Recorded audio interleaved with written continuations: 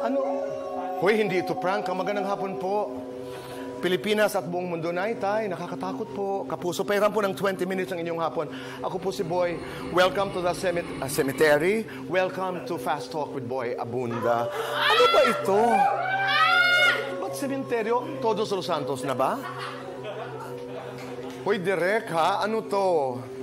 RD, ano to? Sen, huwag niyo akong lokohin. Ano ba ito? Bakit may mga... Hindi nga, ano nga ito?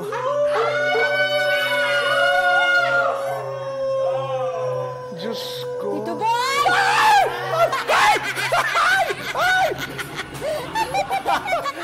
Balik ka na rito! Ano ba?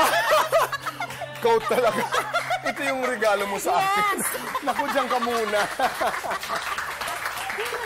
Night Eye! Kapuso, bisita ho natin. Ang Queen of Horror, Manilyn Reynes.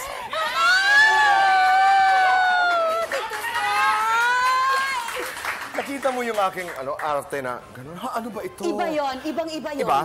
Sandali, may tanong ako sa'yo. Ah, sa lahat ng mga horror movies na ginawa mo, wala ka bang naranasan na may nagparamdam?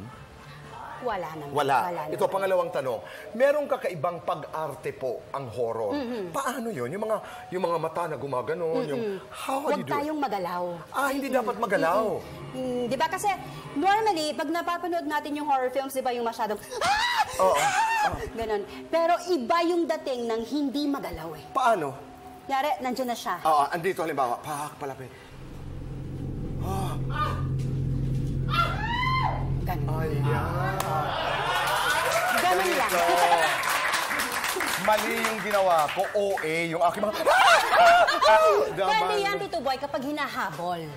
Ah, Pag hinahabol, di ba, kunyari nandyan na sila. Kan- Okay. Kunyari yung mga aswang. okay. Pero yung takbo mo, hindi dapat hindi dapat yung parang takbong marathon, hindi ba? Oo. Siyempre may acting na ng body. Oo. Ah, gan ganon. Ganon.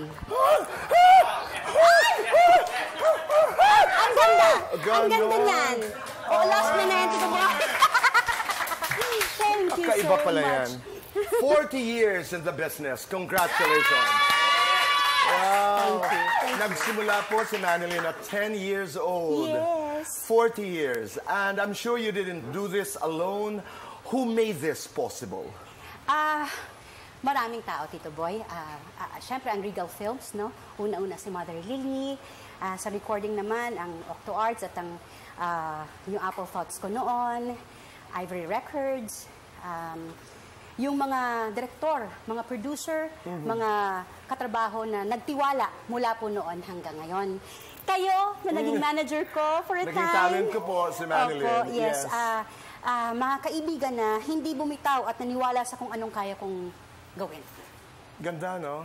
Uh, why do you think you lasted this long and still counting the years? Bakit? Salamat po.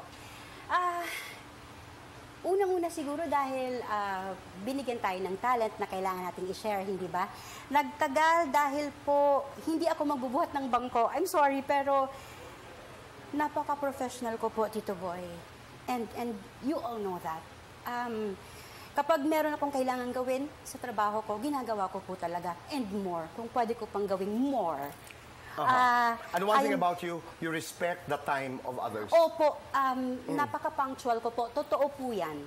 Ah, para sa atin kasi lahat tayo, may kanya-kanyang buhay, may kanya-kanya tayong pamilya. Ano ba naman yung maaga tayong lahat dumating, matapos tayong maaga, di masaya, makauwi tayo sa family natin ng maayos, at masaya lahat, hindi Ito ba? bang katangian na ito, naiintindihan ito ng mga batang artista? Hindi po.